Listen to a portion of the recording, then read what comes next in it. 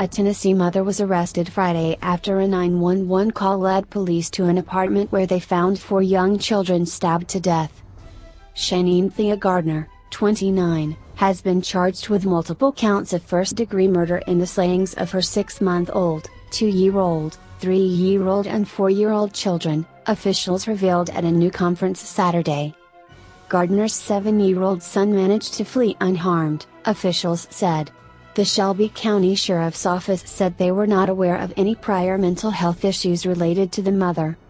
The Memphis area community was shocked by the reports, by no one more than the parishioners of New Growth Christ Christian Church, which is located mere blocks away from the grisly scene of the murders.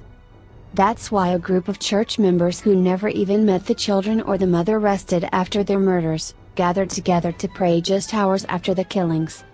Bishop Sidney Mallon organized the prayer sessions with the goal of helping the city overcome. In light of the recent tragedy in our community this afternoon, we must come together to pray, the church wrote in a Facebook post. The church organized another prayer session for the victims. The detectives told me they were all babies, Shelby County Sheriff's Office spokesperson Earl Farrell told InsideEdition.com. I'm thinking that's no older than five years. Authorities have not arrested the father of the four children, who reportedly married their mother relatively recently.